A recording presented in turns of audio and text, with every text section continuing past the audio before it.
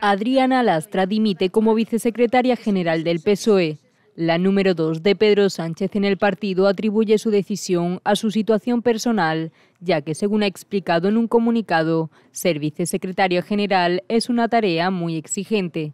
Según detalla, unos cambios importantes en su vida personal le exigen tranquilidad y reposo, algo que ya se había hecho notar en las últimas dos semanas cuando tuvo que darse de baja laboral. Por este motivo, según relata, hace unos días trasladó la decisión de dimitir de su cargo a Pedro Sánchez, a quien ha agradecido la confianza durante estos años.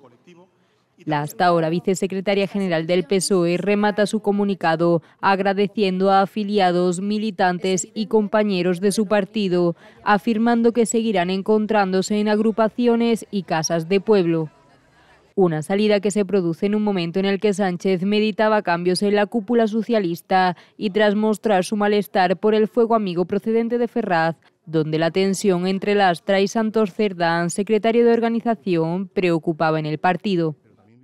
like